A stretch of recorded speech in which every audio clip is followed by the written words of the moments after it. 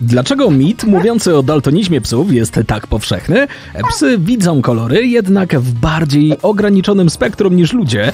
Całkiem nieźle rozróżniają niebieski, żółty i fioletowy, ale mają problem z odróżnieniem pomarańczowego, czerwonego i zielonego. Jeśli chcesz przemeblować psią budę, lepiej postaw na odcienie niebieskiego i fioletowego. Zwierzęta, rośliny i ludzie są ze sobą spokrewnieni i mają wspólne cechy, ponieważ wyewoluowaliśmy od tego samego mikroskopu mikroskopijnego przodka o nazwie Luka, ostatniego uniwersalnego wspólnego przodka, czyli organizmu, który żył na Ziemi 3,8 miliarda lat temu. Zamknięcie oczu poprawia pamięć. Powiedzmy, że chcesz posłuchać jakiejś opowieści i sprawdzić, ile z niej uda ci się zapamiętać. Badania wykazały, że jeśli zamkniesz oczy i odpoczniesz przez 15 minut, zapamiętasz wszystko lepiej. To przydatna technika, gdy się uczysz lub musisz zapamiętać jakieś nudne informacje. Różowy kącik oka to w rzeczywistości pozostałości trzeciej powieki. Wszyscy posiadamy tę tajemniczą membranę. Trzecia powieka dużo częściej występuje u niektórych ssaków i ptaków, ponieważ chroni ich oczy przed pyłem. W przypadku ludzi tkanka ta nie ma większego znaczenia, dlatego według naukowców z czasem całkiem zaniknie. Gdy ziemniaki zbyt długo są narażone na działanie światła, zmieniają kolor na zielony i to zarówno w fabryce, magazynie, jak i na polu. Dzieje się tak, ponieważ zaczynają wytwarzać chlorofil, pigment, który dodaje roślinom zielony kolor. Gdy widzisz zielonego chipsa, to oznacza to, że został zrobiony z ziemniaka, który zbyt długo był wystawiony na działanie światła. Jednak to, że zielone chipsy trafiają do paczki nie oznacza, że powinieneś je jeść. Okazuje się, że zielone obszary na ziemniakach i chipsach nie są zdrowe.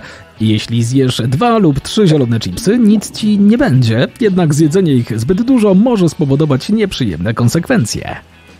Mimo swojej nazwy, niektóre pomarańcze wcale nie są pomarańczowe.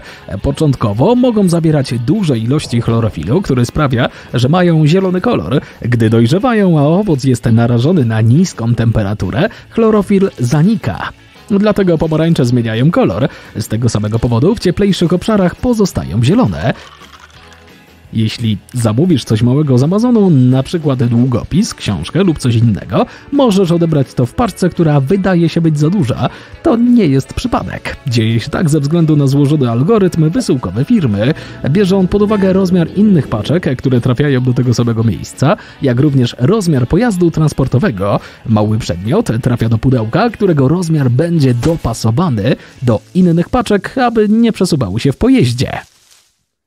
Fizyk i wynalazca Percy Spencer odkrył mikrofale przez przypadek. Budował akurat magnetron do sprzętu radarowego, gdy w pewnym momencie zdał sobie sprawę, że czekoladowy batonik w jego kieszeni zaczął się topić. Zastanawiał się, co stanie się dalej, więc skierował mikrofale na popcorn, który zaczął strzelać oraz na jaja, które eksplodowały.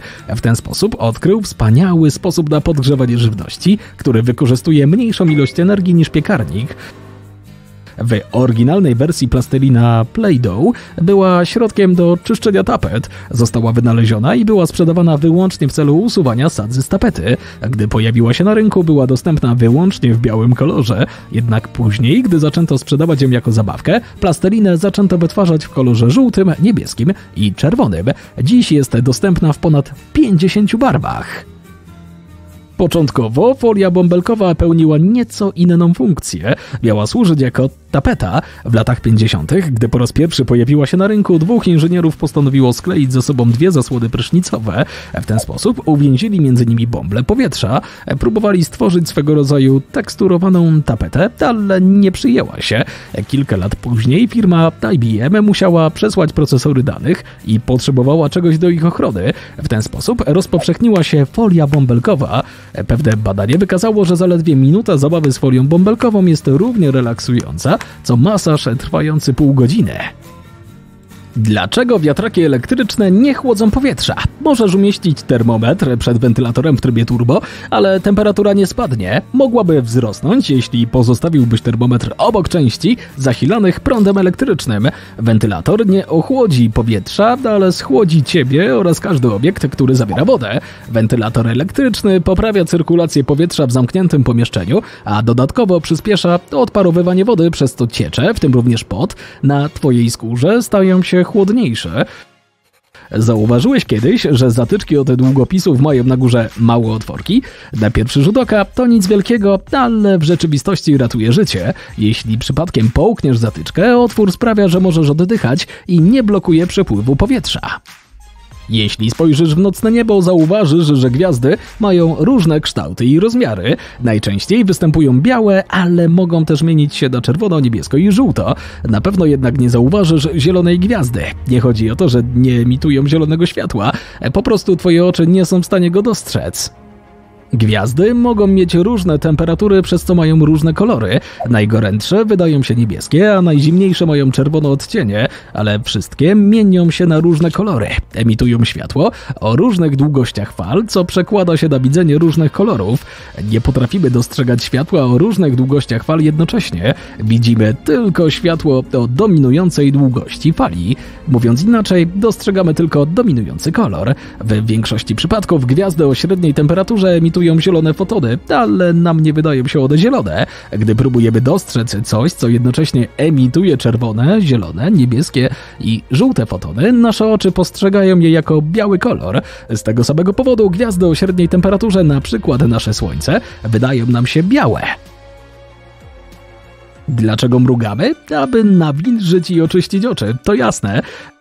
Za każdym razem, gdy zamykasz powieki, gruczoły łzowe wydzielają słodą substancję, która pokrywa powierzchnię oka, Następnie wypłukuje wszystkie drobiny pyłu i nawilża odsłonięte części gałki ocznej. Zazwyczaj mrugamy co 4 do 6 sekund, chyba że oczy są podrażnione. W takim przypadku mrugamy częściej, aby były nawilżone i czyste, ale nie chodzi tylko o to. Mruganie pozwala naszemu mózgowi na odpoczynek. Musi on przetwarzać wiele informacji jednocześnie, więc od czasu do czasu zasługuje na przerwę. Mruganie ratuje nasz mózg od 15 do 20 razy na minutę. Gdy zamykamy oczy, nasz mózg może się na chwilę chwilę wyłączyć, robiąc sobie krótką, ale bardzo efektywną przerwę. Dlatego mrugamy częściej, gdy wykonujemy jakieś zadanie wymagające intensywnego myślenia.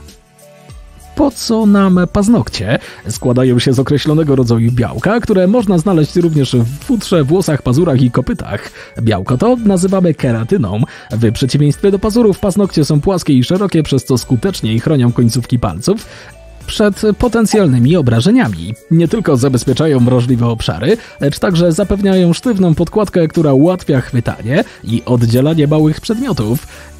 Jak podniósłbyś element układanki lub odlepił naklejkę bez paznokci? Byłoby to niemal niemożliwe bez użycia narzędzi. Do tego typu delikatnych zadań małpy wykorzystują stopy.